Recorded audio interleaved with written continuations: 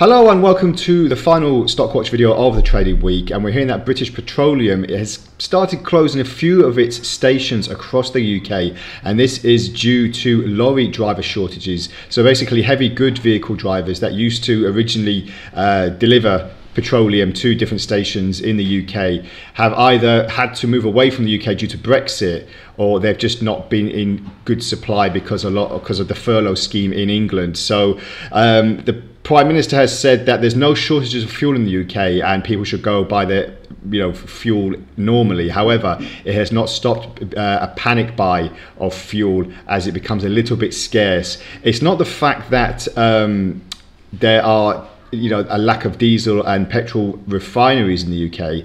It's just getting the deliveries to the forecourts or to the stations is has been a problem in some areas. And according to Road Haulage Association, the UK is short around 100,000 truck drivers, and as I said, 20,000 of whom were EU nationals that left the country after Brexit, and possibly the other ones are just you know on the furlough scheme, getting the government checks until they end. So we'll see if anything comes into light as it uh, could be another big panic buy for uh, the UK, and then it will go into serious meltdown like we've seen in past experiences. And also, just want to touch on Royal Dutch Shell, or Shell, as a lot of people know it. Um, they have sealed a deal to sell the entirety of their Texas basin for $9.5 billion, and this is in cash. Uh, the deal would mark Shell's complete withdrawal from onshore production in Texas, but will still keep offshore production there. So you have to wonder if this is a sign of the things to come because you know um, the oil the, yeah the oil industry in general faces um, you know pressure to invest in renewable energies as well. So could this hit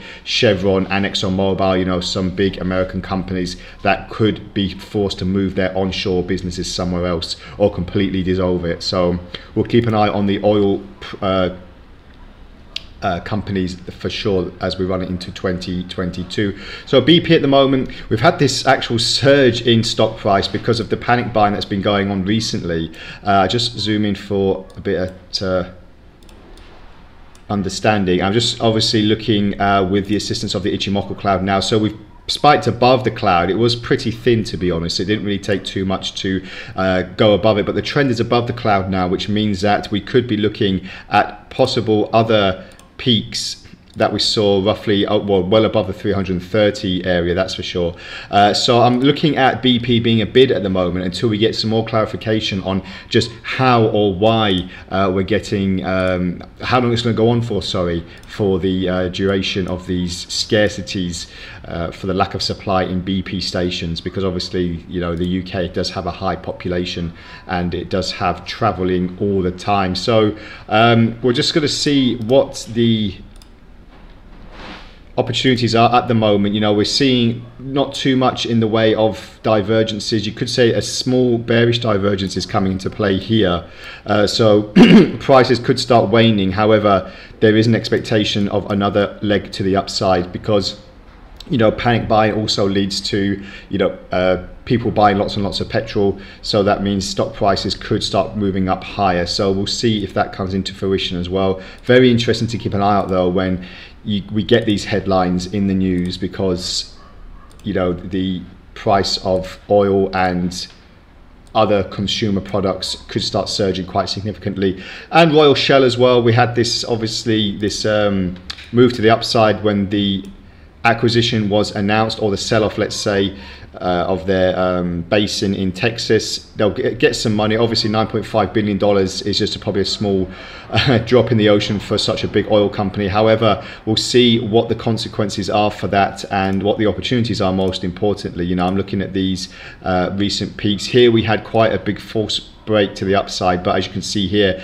there was general organic growth to the upside. Then we had a sell off, and now we're kind of moving in this sideways pattern. But if we can break you know, this sideways duct uh, prices could then test again over the 1,500 area, that's for sure. So we'll see if that comes into fruition.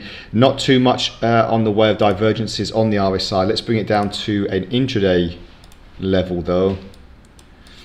And again, you know, not looking too much in the way of breaking out. We're just concentrating on this slight move to the upside here uh, to see if there's going to be another leg higher. But both companies, BP and uh, Royal Dutch Shell do look bid at the moment, so just be something to keep an eye out for, and uh, good opportunities as well in the oil industry, and also keep an eye out for the big American players as well when it comes to uh, oil news in general. Obviously, uh, WTI is trading over or trading around $70 at the moment, so that's quite significant.